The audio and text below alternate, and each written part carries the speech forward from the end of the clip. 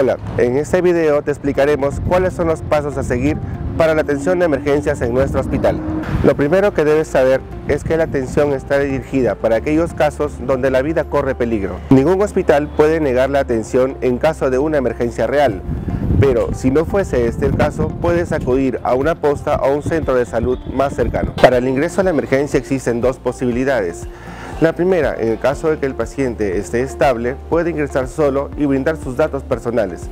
En el caso que el paciente se encuentre inestable, inconsciente, sea un menor de edad o un adulto mayor, incluso una persona con discapacidad, deberá ser acompañado por un familiar para brindar los datos necesarios. Recuerda contar con dos requisitos principales. El primero, tu DNI en físico, para poder identificar el tipo de seguro con el que cuentas y poder comunicarnos con las autoridades necesarias. Así también un número de teléfono de contacto para poder brindar la información oportuna a tus familiares. El primer punto a donde deberás dirigirte es al triaje, donde contamos con un personal diferenciado tanto para niños como para adultos, en donde serás evaluado en orden de prioridades. Recuerda que aquí la atención no es por orden de llegada, sino por la necesidad de tu atención.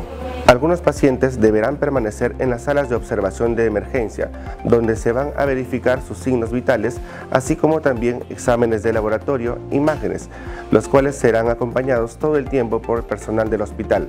Recuerda también que si en caso sucediera algún acontecimiento dentro de la emergencia, será atendido de inmediato. Recuerda si tu familiar necesita ser trasladado a otro hospital de mayor complejidad, este será realizado a través del sistema de referencias de nuestra institución y no de manera informal a través de los familiares.